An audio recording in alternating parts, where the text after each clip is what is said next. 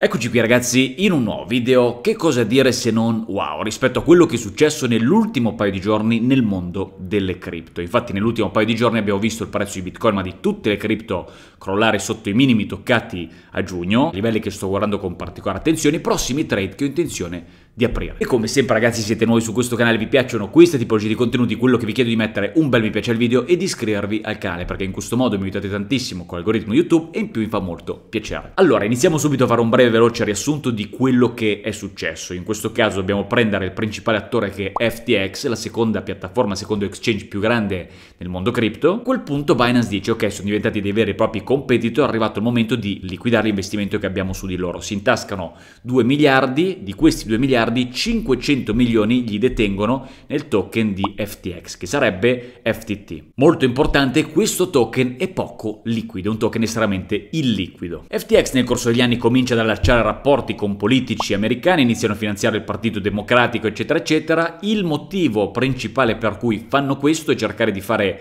lobbying per regolamentare le cripto, così da far fuori il principale competitor che è Binance. Giustamente a quel punto il CEO di Binance, che per abbreviare chiameremo CZ, è ben cosciente di questa situazione. Quando qualche giorno fa, qualche settimana fa, sono uscite fuori delle notizie di una probabile insolvenza di problemi a livello di liquidità per FTX, decide di fare un tweet dicendo ai suoi milioni di follower che Binance inizierà a liquidare, a vendere questi 500 milioni detenuti di FTT. Cosa succede? Che si crea il panico, lo scompiglio nei mercati, FTT inizia a crollare del 20-30% nel giro di pochi minuti, e qui entra in gioco Alameda le cose diventano interessanti. Alameda è questo hedge fund che era stato creato dal CEO di FTX prima di fondare FTX. E qui iniziano i problemi. Alameda a quanto pare aveva 12 miliardi in asset, quindi in attività, e 7 miliardi in liability, quindi in passività.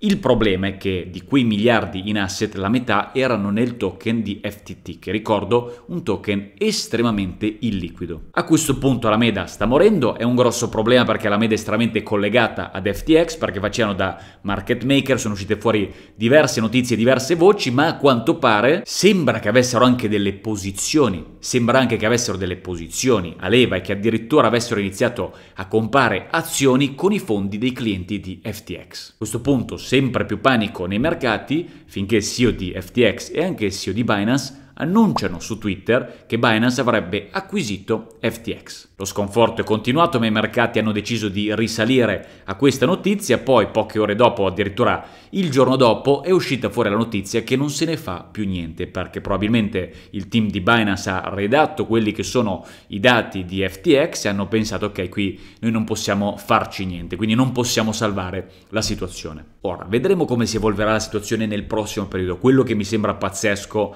è come effettivamente in molti casi sembra che non ci si possa fidare dei grandi uomini della finanza. È uscito fuori nell'ultimo periodo, ci avevo fatto anche un video, il fatto che in UK, quindi nel Regno Unito, molti grandi della finanza, dei fondi pensione avessero iniziato ad investire a leva finanziaria in titoli di Stato, in obbligazioni, mandando quasi in default l'intera economia degli UK. Ed in questo caso invece addirittura hanno deciso di investire miliardi utilizzando leve finanziarie in un ambiente speculativo speculativo come quello delle cripto. Ed io personalmente faccio regolarmente trading a leva, ma sono due cose completamente diverse. non mi sognerei mai di fare degli investimenti a leva finanziaria. Al massimo io quello che faccio è aprire delle posizioni giornaliere utilizzando leva finanziaria, utilizzando risk management e cercando di fare dei veloci e brevi profitti. Ma pensare di andare ad investire i risparmi, i soldi dei clienti in queste criptovalute che alla fine nella maggior parte dei casi quello che sono è puramente storytelling mi sembra davvero un qualcosa di fuori dal normale. Detto questo, sono stati un paio di giorni molto profittevoli, siamo riusciti a cavalcare uno short su Bitcoin, avevo parlato nel mio precedente video che nonostante mi aspettassi, a parte questo cigno nero, che Bitcoin poteva salire anche al di sopra dei 21.500, ho detto chiaramente che se non fossimo saliti al di sopra, sotto i 20.000 avrei aperto una posizione short, cosa che ho fatto. In realtà la prima posizione short che ho aperto sia su Bitcoin sia su FTT appena trapelate le prime notizie notizie non è andata per niente bene, ho perso addirittura ero in profitti anche abbastanza lauti per poi andare a chiudere queste posizioni addirittura in perdita, proprio perché è uscita fuori la notizia dell'acquisizione, i mercati hanno riniziato a salire senza un apparente motivo, ho ricavalcato però la discesa. In questo momento però ho chiuso tutte le mie posizioni short. Quali sono quindi i prossimi livelli che sto guardando con particolare attenzione e soprattutto che cosa mi aspetto nel prossimo periodo? Allora, innanzitutto c'è da dire che in questo momento per via di questo Black Swan, di questo cigno nero, sembra che siamo in una fase di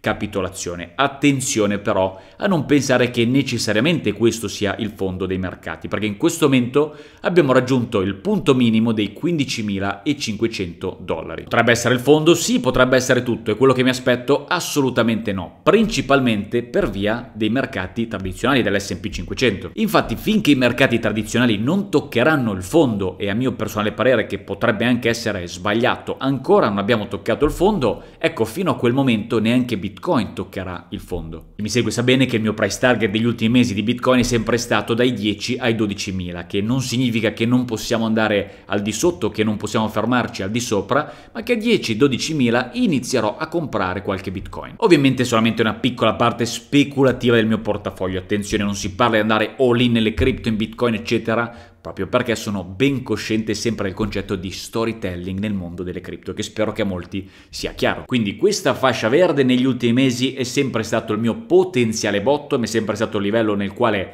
sarei stato interessato a comprare Bitcoin. L'unica cosa è che in questo momento Bitcoin dovrebbe cercare di reggere i 15-16 mila addirittura risalire, proprio perché nei prossimi mesi nei mercati, per via della situazione macroeconomica mi aspetto che scenderanno ulteriormente. Abbiamo visto che giusto un paio di giorni fa è uscita fuori la notizia che Facebook ha iniziato a licenziare 11.000 dipendenti, anche questo era un qualcosa che avevamo previsto, che la situazione macro sarebbe peggiorata per via anche delle politiche monetarie della Federal Reserve. In realtà la Federal Reserve è questo che vuole, quindi nonostante queste grandi aziende tech, Facebook non è l'unica, abbiano iniziato a fare licenziamenti di massa, possa sembrare, ed è una cosa negativa per molti, in realtà questo è l'obiettivo della Fed, anzi il numero di disoccupati nel prossimo periodo deve cercare di crescere il più possibile. Solamente a quel punto inizieranno ad allentare queste politiche monetarie e a mio personale parere ci sarà una ripresa dei mercati. Quindi è vero, questa può sembrare una capitolazione di Bitcoin del mondo delle cripto in generale, ma molta molta attenzione a quello che succederà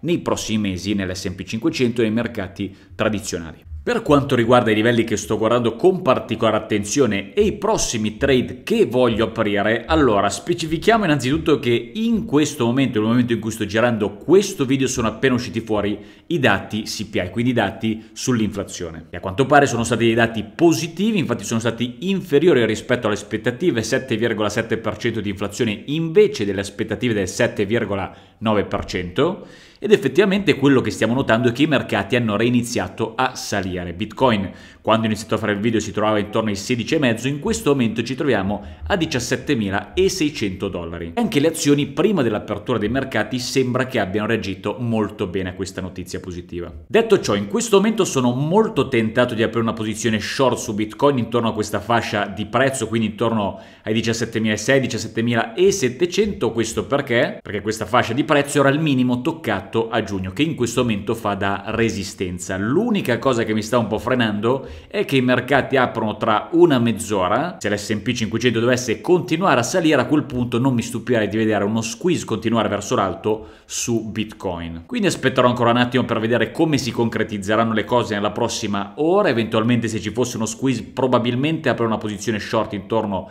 a questa fascia di prezzo, quindi intorno ai 18.500-18.600 dollari. Per quanto riguarda invece le posizioni long su Bitcoin, sono interessato ad aprire dei brevi e veloci scalp long solamente nel momento in cui dovessimo ritestare questo minimo toccato dei 15,5 o qualcosa poco al di sopra, ma ripeto sarebbe solamente un breve veloce scalp. Questo perché? Perché questa fascia di prezzo, se andiamo a prendere il grafico giornaliero, possiamo notare che aveva fatto da resistenza successivamente da supporto a novembre 2020, quindi in questo momento sta facendo da supporto. Nel momento in cui invece dovessimo rompere questo supporto, l'altro livello su cui ho gli occhi ben puntati è il livello dei 14.000, anche qui probabilmente andrà ad aprire una posizione long, ripeto invece sarei interessato a comprare un po' di bitcoin in questa fascia di prezzo, quindi nel mio price target che è sempre quello da mesi tra i 10 e i 12 mila dollari. Quindi breve veloce recap, già questa in realtà è una zona in cui sono tentato di entrare short, ma in questo momento per via dei dati positivi